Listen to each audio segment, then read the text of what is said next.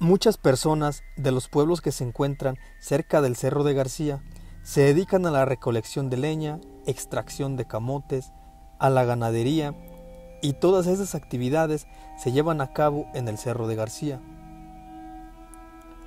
Muchas de estas personas pueden confirmar la existencia de varios animales que habitan este cerro, como lo pueden ser serpientes, zorros, coyotes, venados, gatos salvajes, jabalíes, pumas, tecolotes, entre otros más.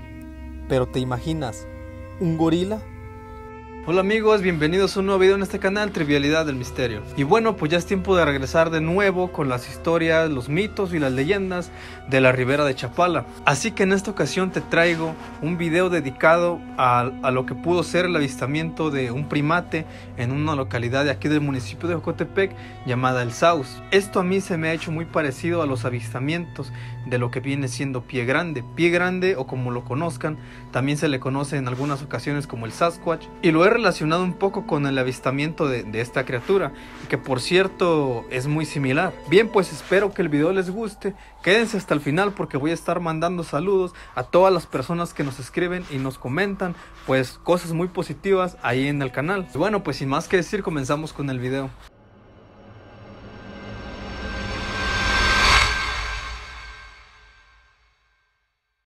Lo que te contaré el día de hoy sucedió cerca del Cerro de García, en una localidad del municipio de Jocotepec llamada El Saus, a aproximadamente 45 minutos a pie de San Cristóbal Zapotitlán y algunos 10 minutos en auto. Desde pie de la carretera Guadalajara-Morelia son aproximadamente 4 kilómetros hacia el cerro. Todo parecía indicar que las personas que se percataron de esta aparición fueron las personas que tenían ganado, ya que al ir a alimentar a su ganado se dieron cuenta que en el lodo aparecían algunas huellas que no parecían de humano y mucho menos de algún animal del cerro, ya que tenían un tamaño más grande, pero con una cierta similitud a la de un humano. Esto cada día comenzó a comentarse más y más. Se dice que este animal bajaba del cerro a alimentarse o a tomar agua, pero nunca se confirmó su verdadera existencia. Aún así, algunas personas seguían creyendo en esto, y se llegó a comentar que esto era obra de un gorila. Esto nos recuerda un poco a los avistamientos de Pie Grande, quien es una criatura legendaria con el aspecto de un primate, y que muchos aseguran que suele verse en bosques a elevadas altitudes en diferentes regiones de Norteamérica. Y no sería la primera vez que se comenta sobre una criatura similar, ya que se cuenta de algunos avistamientos de criaturas similares por algunas partes de Norteamérica, en donde cada región lo llama de diferentes formas. Teniendo en cuenta este dato, estos relatos podrían cobrar más sentido, ya que el Cerro de García se encuentra entre las 10 montañas más altas en el estado de Jalisco, con una altitud de 2.760 metros sobre el nivel del mar y se ubica al sureste de la laguna de Chapala. Esto nos deja un gran misterio, ya que como se comentó antes, no sería la primera vez que esto sucede.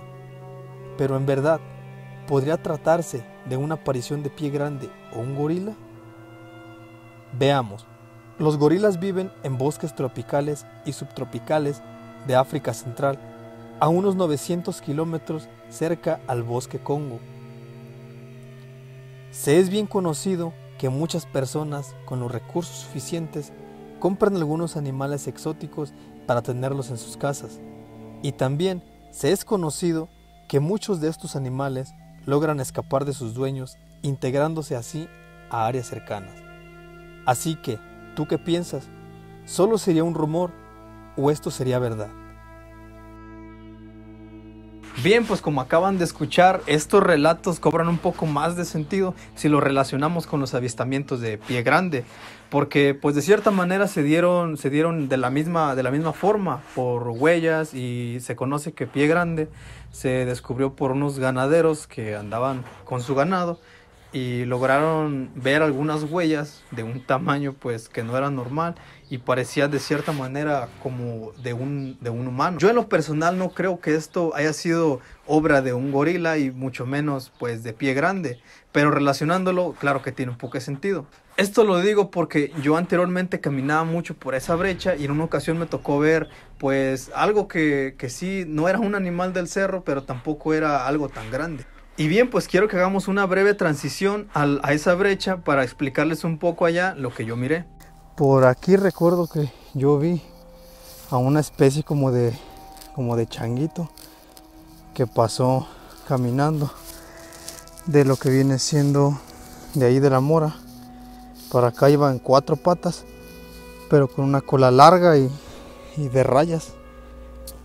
Ahorita esa es la primera vez que vi vi una cosa así. Aquí fue la segunda vez que yo vi un changuito. Estaba así como erguido en cuatro patas.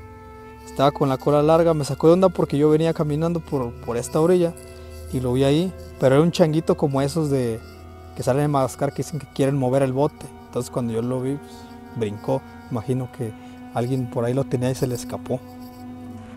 Bien, pues como acaban de escuchar, tal vez este, tal vez alguien pudo tener a lo mejor ese animal en su casa, tal vez se les escapó o algo. No creo que haya sobrevivido mucho tiempo o no sé por ahí si hay alguna persona que es experta en ese tema de estos animales, pues que me pueda dejar el comentario o algo. Pero sí en lo personal lo que vi fue una especie de changuito o no sé cómo se le llame, pero era esa especie de, de, de pues de mono como el que sale en Madagascar que dice que quiere mover el bote. Y pues tal vez las personas le exageraron un poquito. Y bien, pues ya para despedirlos vamos con los saludos. Saludos a Eric Rodríguez, que me dice que andamos por aquí, hermano. Saludos. Un saludo hasta Puebla, hermano. Un saludo muy grande también a Cristal Solano. Derek Puerta, que por ahí me estaba comentando en el chat del video anterior, que nos mira desde Guanajuato. Un saludo hasta Guanajuato. Un saludo también para Armando Navarrete, para Norma Pisano, Isaac Uriel Bautista, a José Francisco Cuevas Vázquez que nos dice saludos compas, están bien chacas sus videos desde que los veo diario, jaja, saludo pues para Francisco Cuevas, arre chido, pues ahí tiene su saludo. A Demetrius 9533 que nos comenta que pues buenos videos.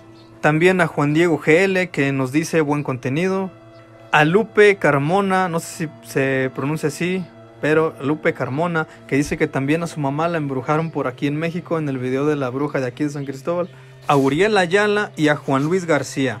Me gustaría mucho si nos ayudaran a superar los 500 suscriptores, ya que al momento de hoy pues tenemos un poco más de 400 y me gustaría que para terminar este año superáramos los 500 suscriptores, así que se los agradecería mucho.